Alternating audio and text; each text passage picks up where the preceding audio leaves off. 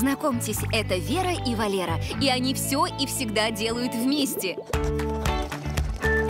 Вместе учатся, вместе занимаются спортом,